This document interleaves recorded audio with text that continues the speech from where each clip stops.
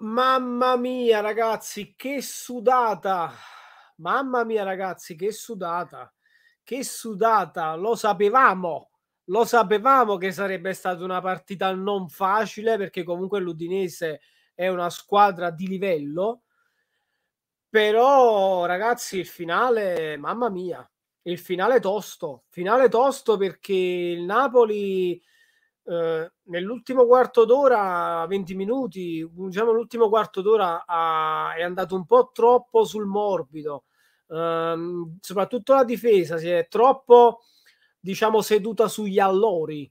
Eh, non bisogna mai distrarsi, questo è proprio un esempio, questo è un chiaro esempio che non bisogna mai distrarsi perché si corrono rischi, ragazzi, si corrono rischi.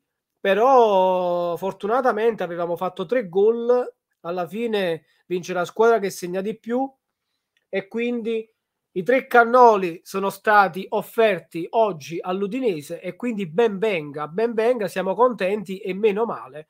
Detto questo, ragazzi, come sempre, ovviamente tanti altri contenuti usciranno su questa partita, per ora ci accontentiamo di questi cannoli, poi la Serie A, ragazzi, purtroppo oggi in, con oggi va in pausa, si tornerà direttamente a gennaio noi godiamoci i cannoli per oggi, ovviamente questi tre cannoli fatti, eh, diciamo, offerti alla, all'Udinese da Osimen, da Zelischi e soprattutto il cannolo macedone da Elmas che ha fatto un bel gol, devo dire, un bel gol di Elmas. Detto questo, Spalletti comunque ha avuto ragione sulle, su, sugli uomini che ha messo in campo. Avrei osato qualche sostituzione in più sul finale. Eh.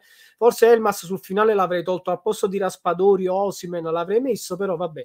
Ragazzi, l'importante è che ci sono tante cose da rivedere, soprattutto il discorso della difesa che si è troppo, ripeto, si è troppo messa, si è troppo seduta sugli allori sul finale, troppo riposata sul finale non va bene, state sempre attenti, sempre concentrati, bisogna stare.